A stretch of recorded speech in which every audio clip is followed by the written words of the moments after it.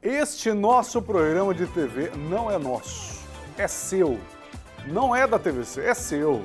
É, porque é o seguinte, aqui nós somos o seu microfone, o microfone da população. É, você vai botar a boca no trombone e vai contar o que está acontecendo aí. É o que acontece na sua rua, é problema nosso.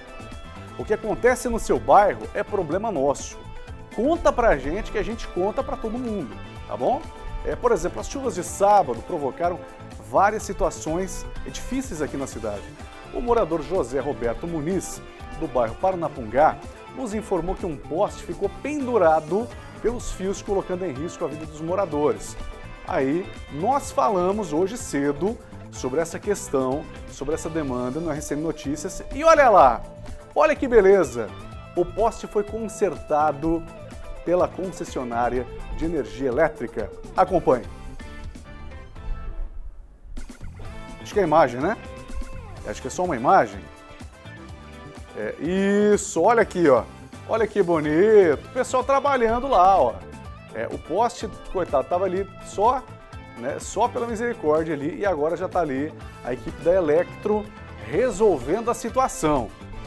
É, e, e a gente gosta, a gente faz questão de mostrar isso aí, porque é o seguinte, tem gente que fala, ah, mas essa, é, povo da mídia só gosta de, ai, de meter a boca e não sei o que lá, mas a gente mata a cobra e mostra o pau. É, a gente conta o problema que está acontecendo. E quando o problema é resolvido, a gente faz questão de mostrar, tá? A gente mostra o problema e mostra a solução.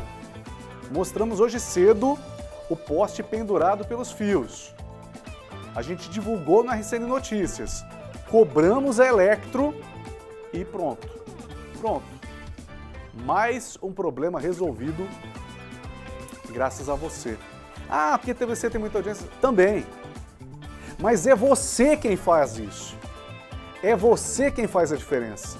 É você que entra em contato com o nosso departamento de jornalismo, que manda a sua demanda aqui no 35097500 e aí as coisas são resolvidas, porque você nos dá o carinho da sua audiência e aí a gente consegue né, é, é, com que essas as entidades, né, as, a, enfim, quem é de direito resolver a parada, resolve.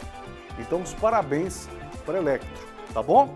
A moradora Selma Carneiro, na rua Duque de Caxias, também tinha registrado uma foto de uma árvore que caiu na frente da casa dela.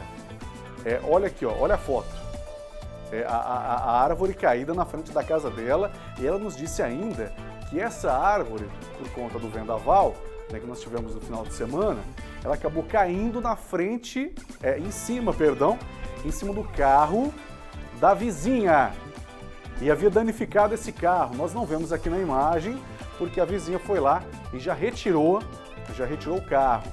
E nós tivemos a informação, não sei se teremos foto para isso, mas nós tivemos a informação de que a prefeitura passou por lá e retirou e olha que beleza. Olha ali, ó. Pronto. Né? Ali, olha, olha que lindo. Sabe o que, que é isso? Pode cortar para mim, produção? Sabe como, como é que se chama isso aí? Sabe como é que se chama isso aqui, ó? Isso se chama utilidade pública. O rádio, a televisão está aqui para isso.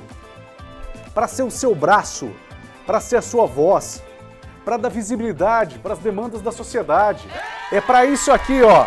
Parabéns, Prefeitura Municipal. Parabéns, Electro. Né? A, a cidade é muito grande. Não tem como cobrir toda a cidade, saber de todos os problemas. Cabe a nós, veículos de imprensa, levantar as demandas, contar para as autoridades e cobrar das autoridades. Até porque o seu imposto ele precisa retornar. Ele retorna assim.